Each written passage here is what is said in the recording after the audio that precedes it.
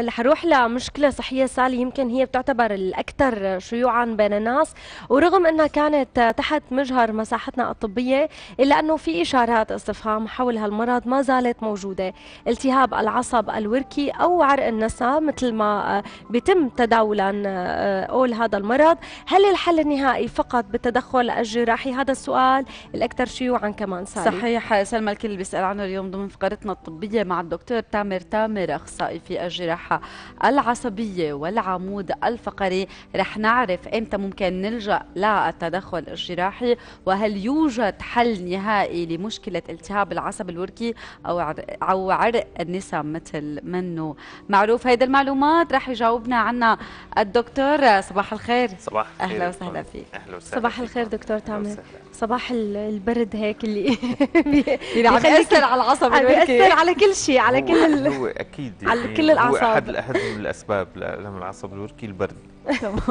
يعني كمان دكتور بشكل عام التهاب العصب الوركي له كثير أسباب وبتؤدي لألم فظيع مثل ما بيقولوا بيمتد على طول مسار العصب الوركي. خلينا نحكي عن هذا الشيء وأسبابه يعني. طبعا هلأ نحن بنقول ألم العصب الوركي هو مثل ما بيقولوا الألم الذي لا ينسى مشان هيك سموه عرق النساء. هلأ في ناس بتقول إنه سموه عرق النساء لأنه اشيع عند النساء بس هو لأ سمي عرق النساء لأنه من النسيان إنه هذا الألم ما ممكن تنسيه فسمي أه عرق النساء. صحيح. فنحن بنقول إنه أهم أسبابه حتى نفهمها نقول العصب الوركي هو أكبر الأعصاب في الجسم. وهو مثل النهر الضخم. له منابع اللي هي الأعصاب القطنية اللي بتطلع من العمود الفقري من الظهر من أسفل الظهر. بتتجمع بجذع واحد أو مثل ما هو مجرى واحد اللي بيمتد من أعلى الطرف لأسفل القدم. من أعلى الفخذ لأسفل القدم. هلا هذا الفرع من أينما ضغط أو أينما تأذى بده يساوي عنا شيء بنسميه التهاب العصب الوركي. وبيؤدي لظهور أعراض ألم العصب الوركي. أحيانا ممكن إنه يكون جزء من التهاب التهاب العصب الوركي يكون جزء من التهاب الأعصاب العام. مثلا التهاب أعصاب نقص الفيتامينات التهاب الأعصاب السكري. يعني يصيبه جزء يكون جزء من المرض وممكن يكون لحاله. يعني مرض لحاله بسبب انضغاطه عند فروعه أو عند مخرجه من العضلة الاليويه أو عند مروره بالفخذ أو عند مروره بالقدم. انضغاطه بأي مكان من هون ممكن يساوي لنا التهاب عصب وركي تمام. فنحن نميز بين النوعين هدول. مشان نعرف شو السبب لحتى لأنه بتختلف العلاج بشكل جذري إذا نعرف شو السبب الحقيقي لوجود التهاب عصب وركي نعم. دكتور يعني الشائع بين النساء آه، غالبا إذا صار عندها هذا الألم فهي بتعرف شو هو الألم ولكن بتلجأ ل إنه تتناول أدوية الأسبرين وبكميات يعني إنه كل ما وجعة آه يلا اسبرين. آه قديش آه في فيه غلط هذا الشيء وقديش لازم إنه اللجوء لطبيب لأنه ممكن ينعطى دواء ثاني أو جرعات معينة. مو كل ما حدا يعني يوجع يلا اسبرين اسبرين. الحقيقة مثل ما قلت لك هلا ارتباطه الوثيق لألم العصب الوركي بآلام أسفل الظهر مثل ما بتعرفي بخليه إنه شيوعه وشيوع علاجه. تماما. يعني إنه نحن بنعرف مثلا وجعني ظهري أخذنا حبة بروفين حبة فولتارين اللي موجود تماما. أو مسكن اللي هو. تمام. هلأ نحن ك ك كعادة اجتماعية أو طبية في عندنا ملاحظات عليها هي الموضوع. تماما. هلأ ممكن إنه ممكن مرض رح نروح على الطبيب. حتى ما نكون كثير محافظين. موسوسين. أيوه. ما كل حالة مثل هيك ممكن نروح على الطبيب ممكن يكون ألم تشنجي ألم بسبب التعرض القليل من البرد نعم. هذا ما مشكلة. هلأ لما بيرافقوا خدر ونمل لما بيرافقوا ضعف بالرجل لما بيكون الألم شديد ما عم يصح حتى على حبة المسكن لما بيأزمن يعني أنا صار لي أسبوعين ثلاثة عم آخذ دواء عم آخذ دواء صرت كل يوم ما بقدر فيق متخت إلا لأخذ حبة مسكن لحتى أقدر اكمل نهاري هون في مشكلة. هون الأفضل نراجع الطبيب ليتشخص. إذا في سبب ممكن التداخل عليه لحتى يحط خطة للعلاج. طبعا في كثير هلأ رح يقولوا إيه رحنا عند الدكتور وقالنا إيه عصب وركي وأعطانا مسكنات اللي بنعرفها وما استفدنا و... وخليني لكن على هذا المسكن. هو هون ال... عدم التواصل بسموه. هل في خطة ب... بالعلاج. جزء من العلاج هو إنه الدكتور ممكن يحط خطة إنه رح ناخذ أدوية لفترة أسبوع 10 أيام. بعد منا إذا ما استفدنا ممكن نعمل دراسة شاملة.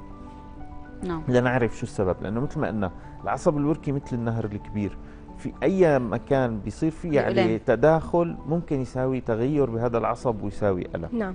كمان دكتور يعني أيضا مرضى الديسك بشكل عام وخصوصا اللي بيكون عندهم بالفقرات ال- السفلى من ال ال ال خلينا نقول الظهر بيجيهم فترات معينة وقت بيتحرك عليهم الديسك آلام تنزل على على الأطراف. خلينا نفرق كيف الشخص ممكن يعرف إنه هي الآلام هي بسبب الديسك أو هي آلام بسبب العصب الوركي؟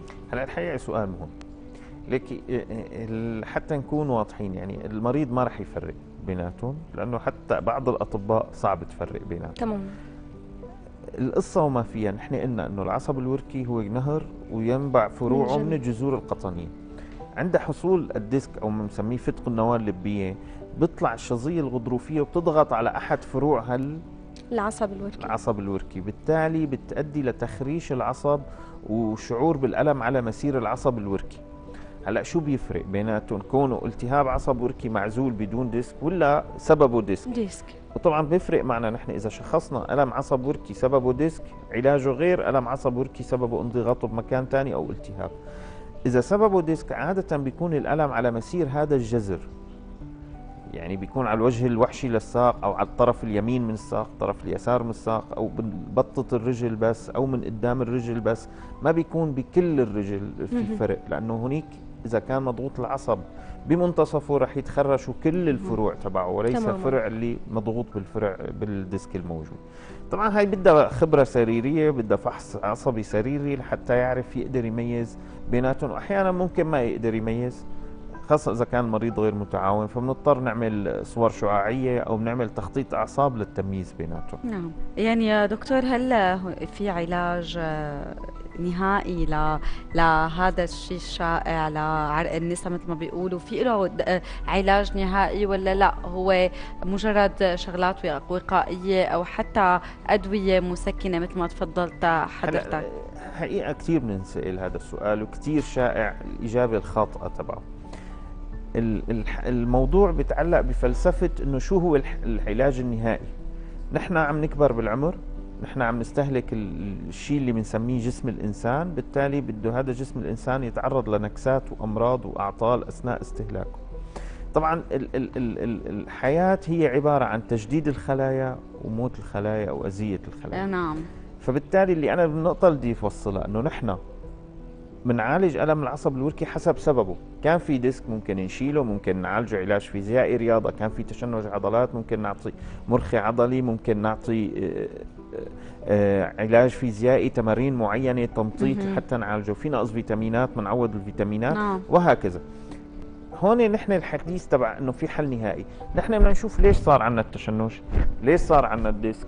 ليش صار عندنا نقص الفيتامينات؟ إذا في آلية خطأ معينة okay ممكن نحلها إذا في آلية اسمها ايجينج أو التقدم بالعمر مم. أو التنكس اللي هو بده يصير مع الكل طبيعي. هلأ هون نحن بنحاول نبطئه ولكن لا يمكن إيقافه. نعم.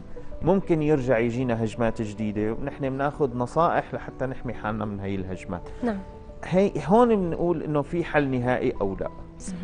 كمان دكتور بعض الناس بتتأخر بشكل عام لحتى تروح لعند الطبيب سواء كان عندها عصب وركي أو شيء ولكن بهي الحالة بالذات بما أنه هو عصب مهم ومفصلي بالجسم الإنسان إذا شخص تأخر لحتى يروح ياخذ علاج شو المضاعفات اللي ممكن تأثر؟ هلأ الحقيقة ممكن إذا كان في انضغاط على العصب ممكن يؤدي إلى شلل يعني ممكن يص- يصير عندنا هبوط قدم بنلاحظ في كثير مرضى وممكن يكون في عندنا حتى عدم استطاعة على الوقوف على الركبة في حالات متقدمة. هلأ عادة بس ما بلش يصير في عندنا ظهور حالات الشلل بتلاقي راجع الم- المريض الطبيب. بس للأسف عادة إذا كان الشلل تام فنسبة إنه يرجع يتعافى المريض من الموضوع صعبة. بتكون ضعيفة جدا. أما بحالات بداية حدوث ضعف بالرجل أو ضعف بالعضلات ممكن نحن نلحق المريض ون- ون- ونعيده لحالته الطبيعية. نعم. يعني يا دكتور آه، مثل ما قلت إن شاء الله يا رب ما حدا بيوصل لهيدي الحالة اللي هي الشلل لازم الإنسان شوي آه مثل ما قلت كمان ما يزودها يروح عند دكتور على أي وجع. ولكن إذا كان في شيء مهم لازم يراجع طبيبه ياخذ العلاج بشكل منتظم لعدم تطور الحالة. وقت يصير بدهم عمل جراحي ممكن آه آخر شيء يحتاج لعمل جراحي. يلي جميع الأطباء هو يعتبر الحل الأخير يعني بعد طبعا. استنفاذ الدواء فهو يعتبر الحل الأخير. بدنا نتشكر كثير وجودك معنا والنصائح يلي قدمتها إن شاء الله تكون حققت الإفادة لجميع مشاهدينا. أهلا وسهلا فيك نورت صباح.